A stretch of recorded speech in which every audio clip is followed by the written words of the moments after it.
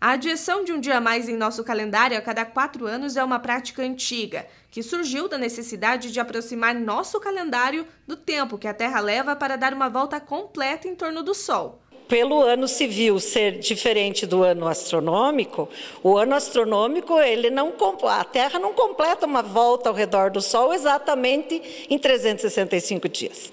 Ela demora 365 dias, 5 horas 48 minutos e 44, 46 segundos. Isso faz com que seja praticamente um quarto de dia. Então, em quatro anos, final do primeiro ano, um quarto de dia de diferença, final do segundo ano, meio dia de diferença, final do terceiro, três quartos, final do quarto ano, praticamente um dia de diferença. Então, por isso que de quatro em quatro anos a gente tem o ano bissexto, um dia a mais colocado no último dia do ano da Roma antiga, né, que era dia 28 de fevereiro.